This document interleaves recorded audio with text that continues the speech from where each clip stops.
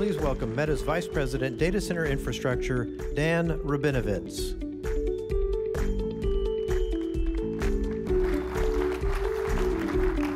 Good morning, everybody. I'm Dan Rabinovitsj, and I do hardware stuff at Meta. And I'm going to talk to you about what's happening with Gen AI and all of the challenges it imposes on us on the infrastructure level. So one of the things that's really interesting right now is you might have thought that Gen AI was kind of in its hype cycle. But what we're seeing with the emergence of Gen AI now integrated into messaging apps, into consumer electronics devices, is that the number of actual inferences are starting to grow at a very, very fast clip. And these are useful things um, that are now enabled so fantastically well by the fact that we've trained these large language models and they've become quite productive. And the next generation are going to combine machine learning with Gen AI, extended reality, so that you can actually get really cool use cases like real-time language translation, looking through your glasses to tell you what something is, or what is that leak thing and what do I do about it? These kinds of use cases are going to drive way more inference transactions on our infrastructure, which just means that Gen AI is on a roll right now, and we should just expect this tsunami to continue. But just a very short time ago, in 2022, which is, as many of my colleagues have said, less than a year ago, we were focused on deep learning recommendation models, which are really the models for our company that tie people to the content they love. And we were optimizing these things around memory and I.O. bandwidth largely. We weren't really compute intensive in the same way as Gen AI.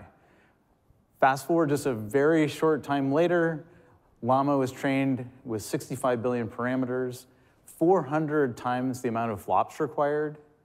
We needed 10 times the memory capacity. And as you can see, now we're not talking about like one GPU, but we're talking about 20 times the amount of GPUs to do these kinds of training jobs. So pretty dramatic change. And we're not done. We actually don't know where diminishing returns are for generative AI models and large language models. So this is just more to come. And I think we should expect that we're going to continue to get challenged on the scale and the complexity and the evolution of these models. And the models themselves will change. So we really need to expect the unexpected here. The only thing we can look at right now is all of this complexity is posing a gigantic challenge for us in the industry. So we could have made this a much more granular picture, but these are five dimensions that are reasonably well taxed by different kinds of AI workloads. And I want to talk about this in the context of generative AI, large language models, and ranking and recommendation for inference and training so that you can kind of get a visual for what are the most taxed dimensions as we look at these different kinds of models. So if we look at large language models, these are trained with billions and trillions of parameters. They require a huge amount of scatter and gather transactions. And that's needed across thousands of GPUs to get sufficient flops to process these jobs. And if you, if you look at this, super duper compute intensive, lots of network bandwidth required.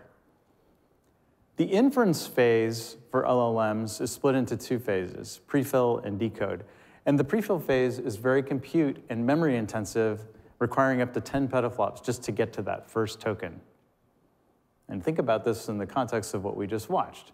Um, because now we also have to think about the decode phase is very sensitive to latency, to network latency and memory bandwidth, because those tokens are processed one at a time. So you want things to come in as fast as possible so that when you're asking your, your chat message bot what to do, you don't have a long lag. You get really good response time. Now, switching over to ranking and recommendation, if you look at DLRMs, they have large embedding models that are mapped across machines, many, many machines, and that results in a high demand for network bandwidth because we have a lot of all-to-all -all collectives that are being instantiated in these particular kinds of models. So you can see very sensitive to network bandwidth. On the inference side, and, and this is really interesting. So if you think about this from, and you know, we'll just put it in the context of our business, we have a lot of this kind of workload. This is a very you know, high demand, high transaction workload for us. So we've been tuning and tuning these models to make sure that although they require a lot of memory capacity, we try to minimize the amount of compute bandwidth that's required or the compute capacity. And with all of that tuning and training, this is kind of what these models are really taxing in the data center today. Now, if we overlay all of these, you can very quickly see, man, we are like very, very far from having a system solution that could work for all of these different kinds of workloads. It's pretty dramatic. You, know, you pick like four general categories and you end up with this, which is fairly messy. And keeping this in mind, it's really, really important for us to now accept the fact, and I think some of our colleagues uh, said this earlier today, it's hard to find one thing to rule them all.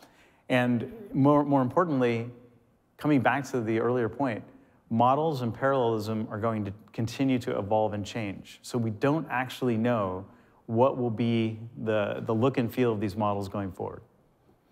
Now, I'm a two-wheeled enthusiast. Um, I, I, can actually describe this as sort of a disease. You know, I, I have uh, a lot of bikes, and it's the same problem, right? Some people will say, well, why don't you just have one bike? And I could say, you know, a gravel bike can go on the road, it can go off road, but it's never going to be as fast as a road bike on the road, and it's never going to go down those gnarly single tracks as well as a full suspension mountain bike. There's trade offs. Performance per watt is actually a shared metric between cyclists and AI systems engineers. We care about that stuff. And we try to optimize and tune these solutions for the application that we're going after. So it's pretty normal, actually, to try to optimize and get the best performance for the highest work, you know, the highest uh, uh, volume workload that you're going after in AI. Just like in cycling, you definitely don't want to be riding your mountain bike in a road race because you will lose to all of the road riders. So where does that take us? This, I think, is kind of like the big, big question for OCP right now.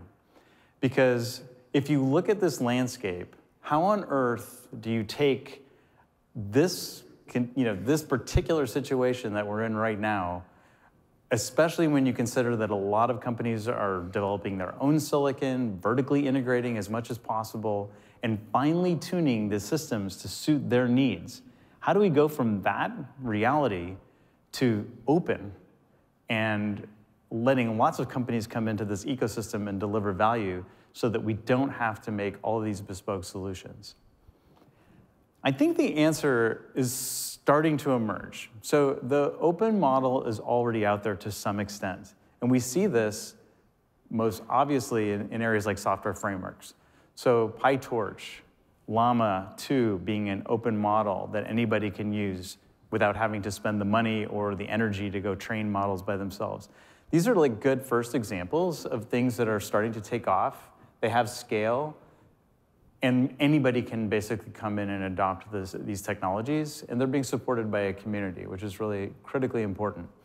But if you look at the hardware situation, it's not quite there yet. And today, I would like to encourage all of us to think about a renaissance, a rebirth of this mission around OCP. Now, our AI journey began with Grand Teton, and I'm very pleased to announce that we've contributed this design to OCP. And you can have a look at it. It's, uh, it's uh, available at the, the booth. And importantly, we are eating this dog food ourselves. Grand Teton clusters are in, in production volumes, running in our data centers for both inference and training. And as much as I would like to celebrate this and say this is awesome, and by the way, this is your design, so this is an OCP design, anybody has access to it. It is cool, but honestly, we're still in diapers. Like this is, this is, you know, this is like uh, toddler time in terms of where we need to go next. And I just want to acknowledge that we are at the beginning of a journey and we are only 1% done. So what does this look like from a homework perspective? So if we are taking OCP seriously, and it, I, am really lucky to be going in this particular speaker slot because so many of my peers and colleagues have been able to already tell a big chunk of this story. But we really need to start with common rack and chassis architectures. And what's cool is, like, just like we talked about with, with bikes, you know, we don't need air cooling for every workload. We're going to need liquid cooling for some of them, but some of them we do want air cooling. Some, some of these, we want to be able to depopulate some of the network bandwidth capability when it's not required. In others, we want to have it fully populated. So starting to think about common chassis and rack architectures that can support all of these different configurations is important because if every single rack and chassis is completely different, it's really hard to scale. So we'll have to accept some compromise on cost, et cetera. But I think leaning towards this, this goal of commonality is really important. A lot of folks have talked about liquid cooling. Liquid cooling is here. We cannot avoid it. It is important, but it is still very early in its, in its life cycle. And we have so many things to work on around cold plate reliability, how we ship things in production, how do we do leak detection, how do we standardize field replaceable CDUs? All of these are kind of open questions. Even just the, the kind of hardware you use for blind make connectors, that's not really been standardized, nor do we have enough qualified vendors who have really robust solutions that we can go to mass production with. This is like definitely number two on the list and very closely related to what we talked about with the common chassis and rack architectures. The next thing, and I will just say, we learned a lot going through the Grand Teton exercise about how hard it is to integrate, validate, and test large AI systems, particularly at the cluster level.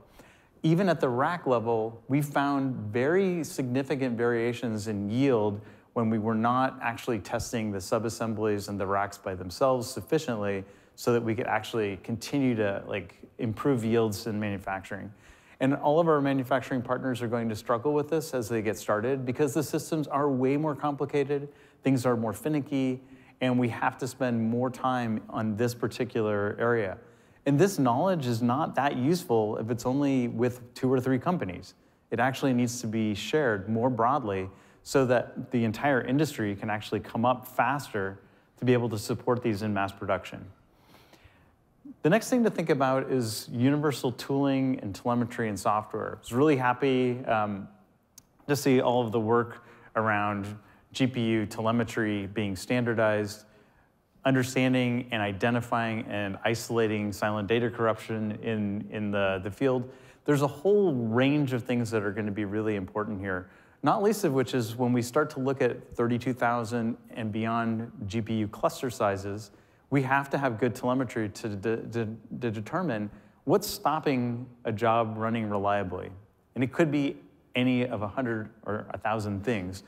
But without any commonality around that telemetry, we will continue to reinvent all of the reliability engineering that maybe one or two companies will figure out one or two years earlier. That's actually not really helping uh, in terms of getting to scale. And finally, as many of my peers have talked about, we need a unified backend fabric. And I'm really excited to see that Google announced Falcon today, and Ram was talking about UEC. We applaud these efforts, and we really believe that the industry needs this standard because this is actually very critical to the future of AI performance. All of this requires sustainability. My colleagues have talked about this in detail it's incredibly important that we address those uh, you know, upcoming power and cooling needs. So what I want you to take away is AI infrastructure is here, it's growing, it's getting more complex, and we don't know where it's going. OCP is a rallying cry for all of us to step up to the plate and start to address these issues as a community. And by the way, we need a community to do this because no one company can do this alone. So thank you so much, and I look forward to seeing you all in the house. Música